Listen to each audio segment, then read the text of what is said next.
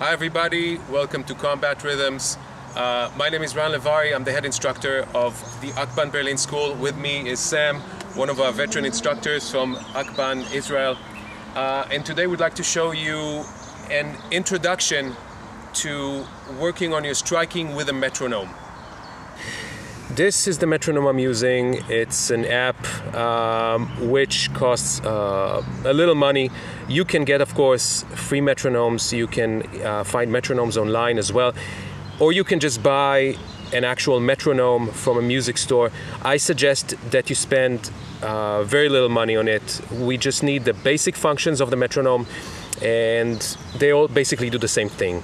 You will always find a number somewhere in the middle, we are using 100. This number is referred to as a BPM, beat per minute, where, for instance, 60 BPM will give us the speed of seconds, right? 60 beats per minute, 60 seconds per minute. So for our purposes, this is fine. Once you get a metronome, if this is loud enough for you, fine. If not, a little speaker would do and you're good to go. For our first drill, we'll just be keeping time with jabs and crosses.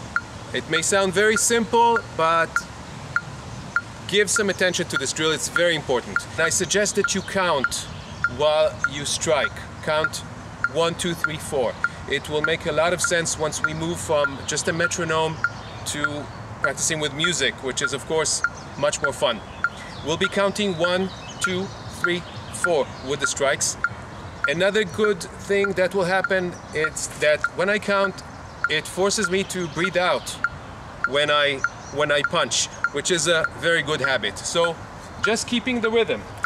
One, two, three, four, and two, three, four, one, two, three, four, one, two, three, four, one, two, three, four. Two important parameters come into play when you, we try to strike according to a set rhythm. The first is the moment of launching the strike, the timing of launching the strike. The second is the speed that I am striking with. So I can do two opposite things. One is to go slowly. One, two, three, four. One, two, three, four. One, two, three, four. One, two, three, four. That creates a sort of uh, seesaw motion with my shoulder blades. It's a very good thing to practice. The second is to wait for the last possible second.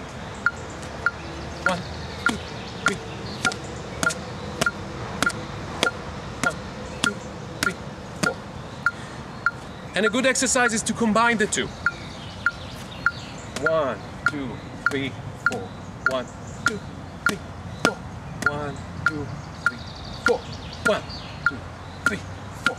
One, two, three, four. One, two, three, four.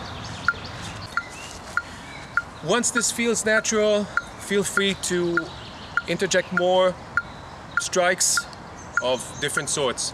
We'll still do very basic stuff. We're going to do a combination of jab, cross, hook, hook, jab, cross, uppercut, uppercut. One, two, three, four. One, two, three, four. One, two,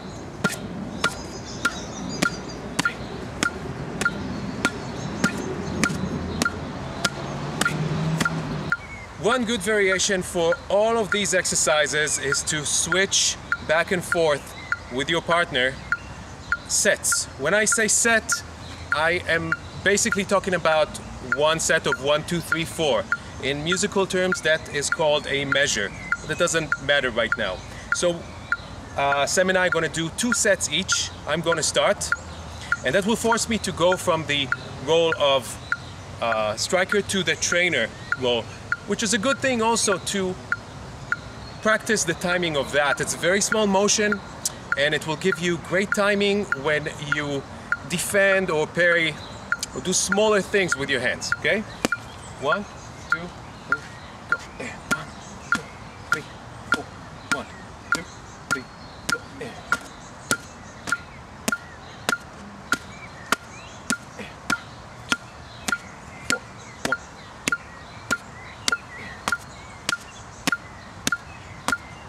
Now one set, and one, and and one, two,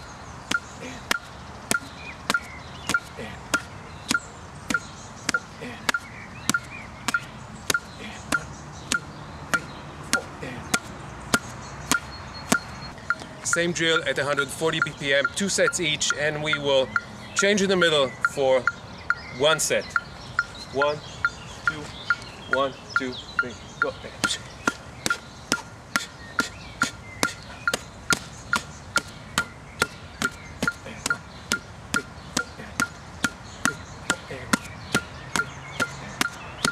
One set.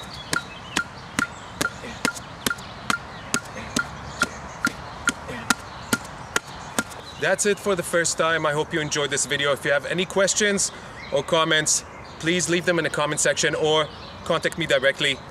Keep training.